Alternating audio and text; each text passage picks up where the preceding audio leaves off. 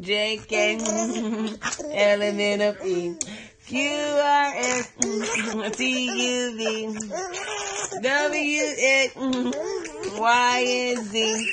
Now, we don't know his ABC.